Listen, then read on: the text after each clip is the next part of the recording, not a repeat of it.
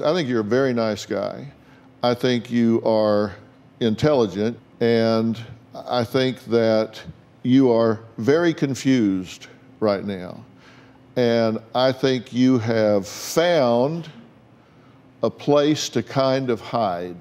But it's at the expense of your relationship with the woman you love and that loves you. It's at the expense of being functional and having a job.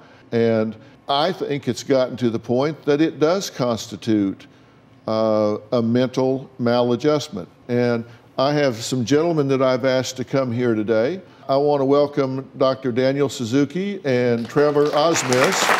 Uh, they're from Las Encinas Hospital. It's located here in Pasadena. They are a top psychiatric and medical evaluation center, and they specialize in medically supervised, patient centered treatment approaches for evaluation and treatment.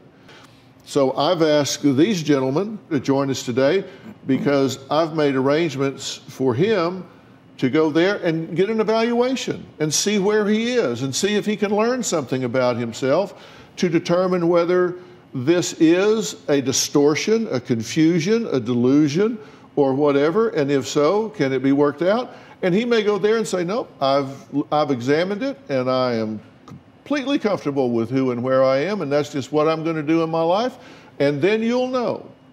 And so, my question is are, are you willing to go and be evaluated and take a look at this? Uh, we, w- we would have to work scheduling. You don't have a job. I don't have I don't have a, a like a a government job type deal, but um, I have a dog. Uh huh. Right. I'm the only one that could take care of my dog, so. Uh huh. If we arranged to kennel your dog, that would be all right, wouldn't it? Um, no. Yeah, Mika wouldn't do good in a kennel, No. but I am willing to, but there would have to be some sort of scheduling. I would have to talk to my parents. Like, there's a lot of logistics. Okay. Ronaldo, are you still there? I'm still here. Uh, you would support this, would you not? I, I would support that. The problem I'd be running into is it seems like everybody has a dog and everybody wants to put it over here. So um, it, it, I I am offering a absolutely top drawer, five star, cutting edge evaluation and treatment center here, and I expect you to step up and support me 100%, my friend.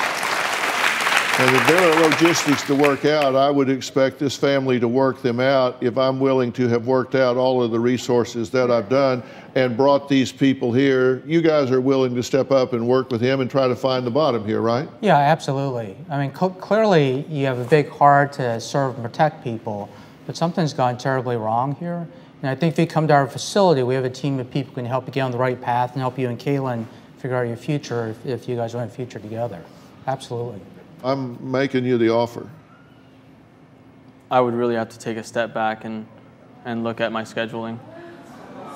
Um, Okay. There you have your answer.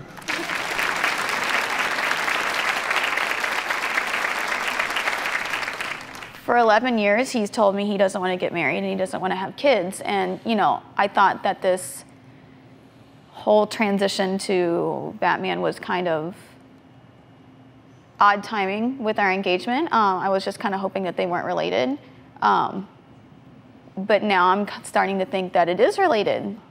My theory is hiding, right? And escaping into fantasy, and that certainly fits with that theory. I currently have all wedding plans on hold. Yeah. I haven't gotten my dress yet. Uh, we haven't got, even gotten engagement pictures or anything done because I can't move forward. We can do the engagement pictures. Robin has a sign, uh, a little sign by her computer that says, if you hesitate, don't pick me. I'm not hesitating at all. I, I, don't, I don't think that she really has that big of an issue with me being Bruce Wayne. Do you support him going and being evaluated and finding out what's going on with him here? I mean, I do and I don't. I really don't think that he's sick. Um, I, think this is him trying to be a bum.